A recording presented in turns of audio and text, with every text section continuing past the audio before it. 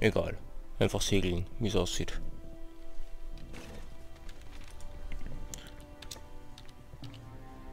Hm. Mal sehen, wo wir stehen. Alle Kristallportale sind zerstört. Meine Flotte ist jetzt groß genug. Es wird Zeit, dass wir diesem Geisterkapitän auf die Pelle rücken. Hm. Mal sehen, wo wir stehen. Hä? Alle, meine... Es...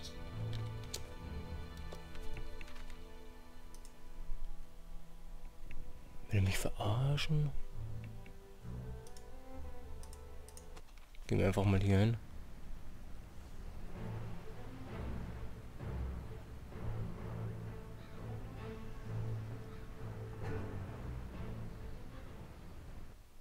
Ich wusste, dass es schwierig werden würde. Wann war es denn einmal einfach? Wie oft hatte ich schon auf meinen unzähligen Kaperfahrten dem Tod ins Auge gesehen. Aber das, was mir da mit seiner hässlichen Fratze entgegenblickte, überstieg meine kühnsten Vorstellungen. Jetzt gibt es keinen drinnen mehr. Dein Körper gehört mir. Männer, Attacke!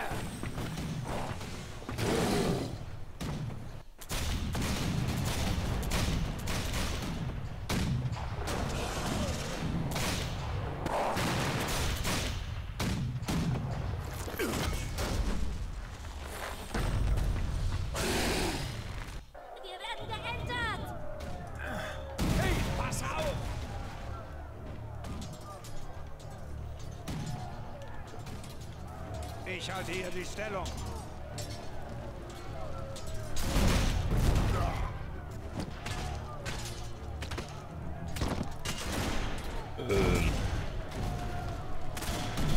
Was zum Henker war das jetzt?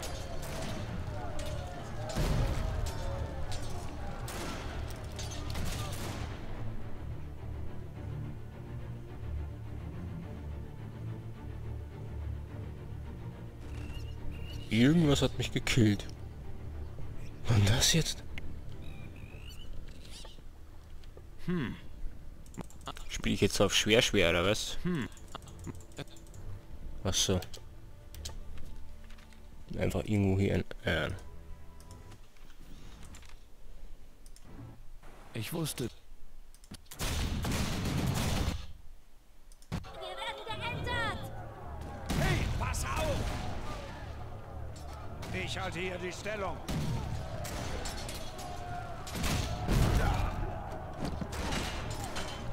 ach, das ist jedes Mal die Sprengfalle, oder was? Dann nehme ich eben den anderen Weg.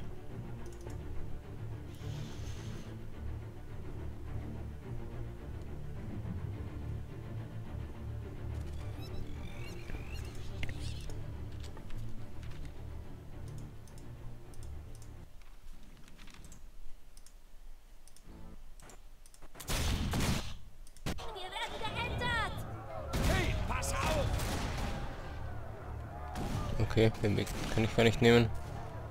Ich halte hier die Stellung.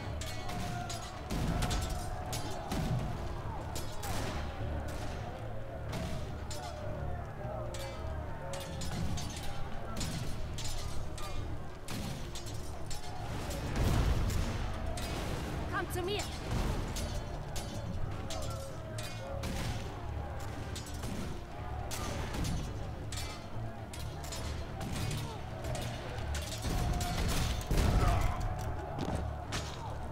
Ist denn das jedes Mal? Ach so, die Leiche erschlägt mich. Du gesehen, was da gestanden hat? Ah, WW. WW steht für Wichswappler.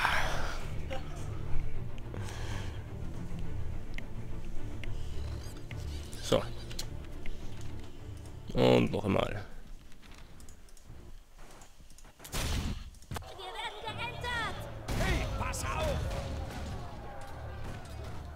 Ich halte hier die Stellung.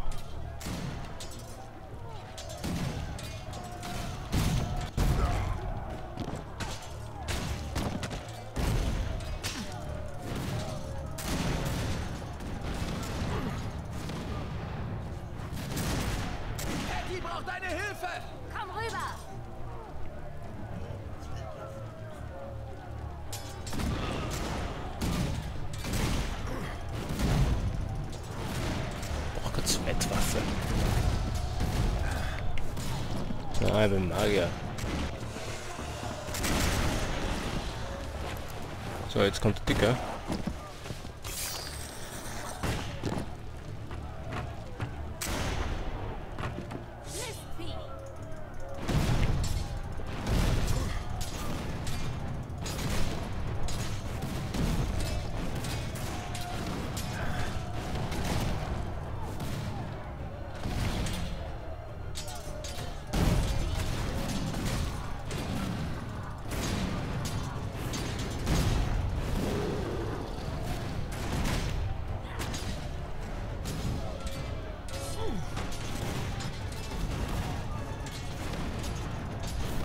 Was willst du von mir?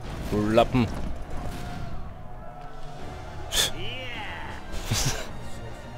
Das war ein, äh, das war Kapitän Crow.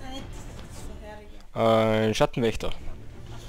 Normalerweise sind die ja nicht so leicht zum Killen. Aber der tat irgendwie nichts. War definitiv eine langweilige Seeschlacht mal wieder. Crow ist endlich besiegt. Das war ein hartes Stück Arbeit. Ja, aber es hat sich gelohnt. Auf Crows Seekarte ist die exakte Position der Totenkopfinsel eingezeichnet. Dort hat das ganze Übel begonnen. Ich wette, dort werden wir auch Nekrolot finden. Wir sollten uns rüsten und unserem Feind endgültig den Garaus machen. Also, ich wäre bereit. Jetzt hält uns nichts mehr auf. Komm mit. Ja. Wird es nicht mal wieder Zeit, deine Crew zu inspizieren? Jetzt sind wir sogar, äh, ach so. Alles klar, Captain? Eh klar. So, Crow ist ja platt. Was sagt Patty dazu? Hey, Nichts. Wie sieht's aus bei dir? Alles gut. Ich werde mein Bestes geben. Gut, okay. So, dann kann ich speichern. Das ist die Totenkopfhöhle. Also. Versuchen wir die einfach mal. Wir haben ja sowieso nichts anderes zu tun.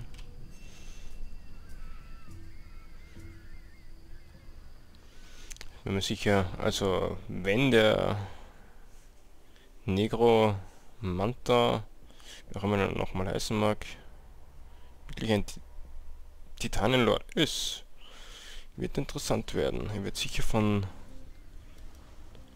Schattenlords ebenso bewacht werden.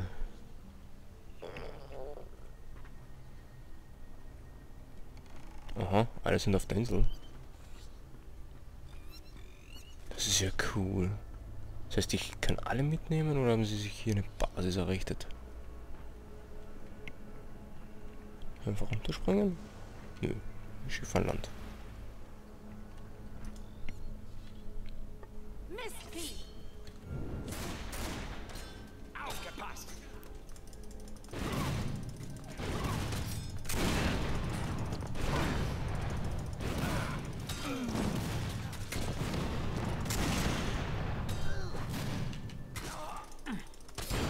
Sollte die Frauen nicht kitzeln hier.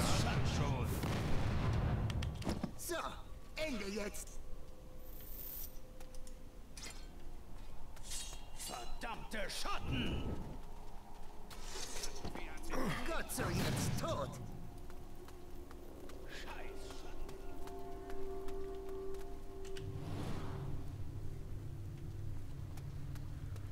Sheku, Voodoo, Chi. Bist denn du? Ein ungewöhnliches Gefühl für Kidlat, mit Gutschos so. zusammenzuarbeiten. Gutschos waren lange Zeit nur Objekte für Kidlat. Wie meinst du das? Nicht böse nehmen, Gutscho. Kidlat hat sich geändert. Viele Gutschos mussten sterben für Wissensdurst dieses Chakas.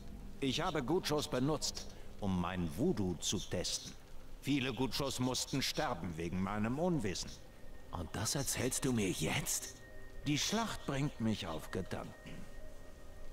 Okay. Du hast Menschenversuche durchgeführt? Chi, so nennen es die Gutschos. Kidlat nicht stolz auf seine Geschichte, aber Vergangenes ist vergangen.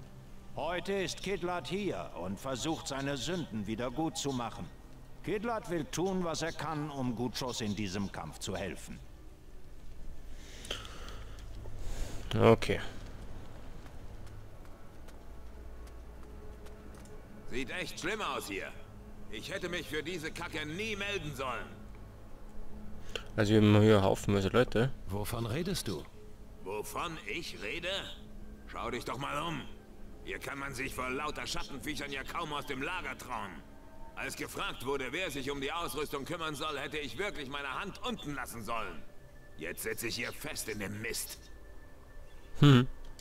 Du hast Angst. Natürlich habe ich das. Hier gibt es nichts. Nichts zu fressen. Keine Menschen außer uns. Hier gibt es nur den Tod.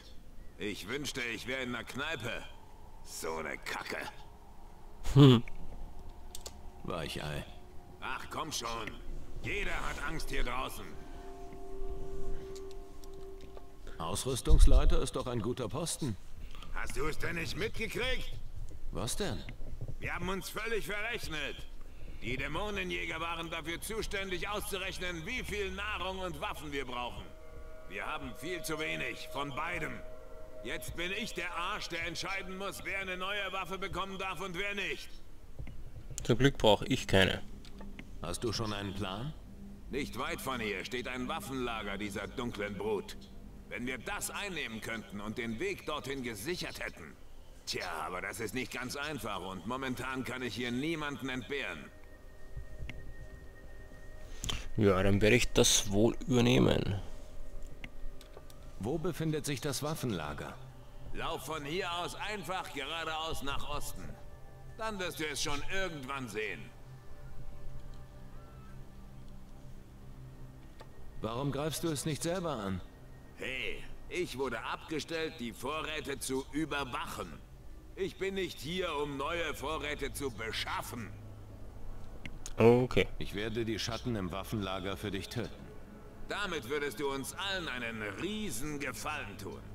Wenn wir ausreichend Waffen haben, werde ich dir auch eine geben. Dann brauche ich ja nicht mehr knauserig sein.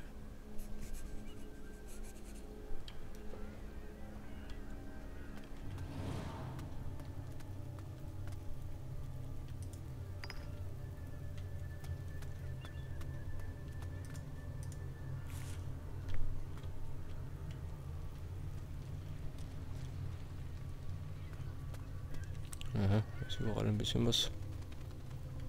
Eine Kiste.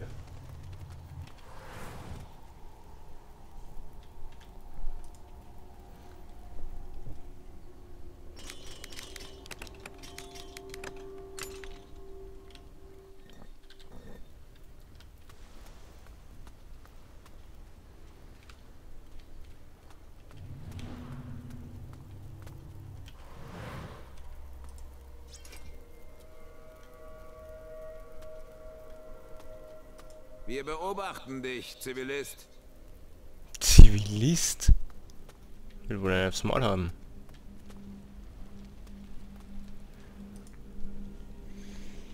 Was genau hast du den Gutschos angetan? Keine schöne Geschichte. Will Guccio das wirklich hören? Kidlat spricht nicht gerne über seine Vergangenheit. Hm. Eigentlich will ich es gar nicht hören. Kidlat dankt dir, diese Geschichte nicht erzählen zu müssen. Kidlat möchte diese Zeit vergessen. Hier, Guccio, nimm dies. Er erinnert Kidlat an Tage des Grauens. Du kannst ihn verkaufen, wenn du ihn nicht haben willst. Kidlat würde es nicht wollen, selber Profit aus diesem Schädel zu schlagen. Bring mir dein Wissen bei. Lass sehen, was Kidlat dich lehren kann, Guccio. Es gibt allerdings Dinge, die Kidlat dich nicht lehren wird.